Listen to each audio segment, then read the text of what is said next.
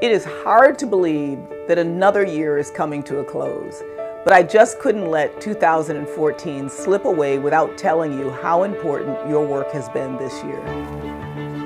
Thank you for your compassion, generosity, and commitment. It's contributed to helping us reach 97 million people last year.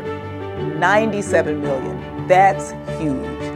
And it's because of your efforts that we were able to help families affected by Typhoon Haiyan rebuild their home, giving life-saving support to thousands affected by the conflict in South Sudan,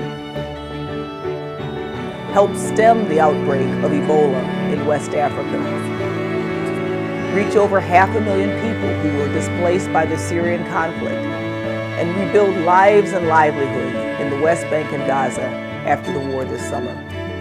But you don't have to take it from me. Here are just a few of the 97 million reasons why what you did this year mattered.